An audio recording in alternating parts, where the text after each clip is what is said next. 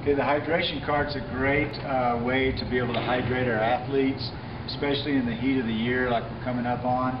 Uh, real nice cart. Uh, has that we have access to a cooler full of ice. Allows us to be able to uh, to get to ice. We have a we have a drawer that uh, we can keep our keep our cups in. Uh, make those available, we have a real nice rubber coated surface. It's easy to clean, handles the weather well. Our cooler's set up nice on top. We have a place to put our either water bottles or cups. Uh, when we're done with our coolers, we, we can clean those out. Uh, we want to let them dry. We have a nice grate on the bottom. It's going to allow us to put these coolers uh, in, in the bottom underneath and we can lock them up. We can actually put six, six 10-gallon coolers uh, in the in the bottom of this.